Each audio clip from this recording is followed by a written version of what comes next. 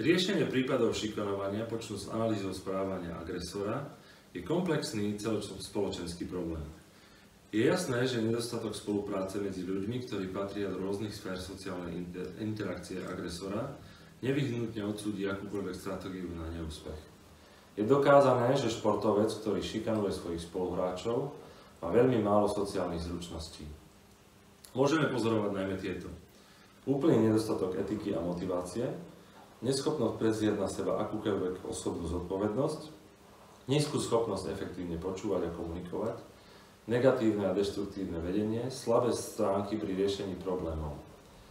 Keď nastanú problémy, jednotlivec ich nerieši racionálne alebo objektívne, ale emocionálne.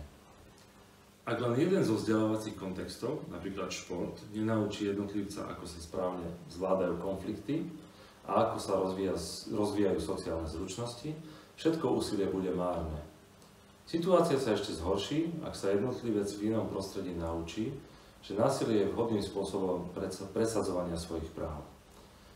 Je dôležité, aby partnerstvo medzi trénerom a rodičom dokázalo identifikovať rozdiely a podobnosti medzi ich vzdelávacími stratégiami a klásť osobitný dôraz na spomínané ako východiskový bod pre prácu na prípadných nezhodách.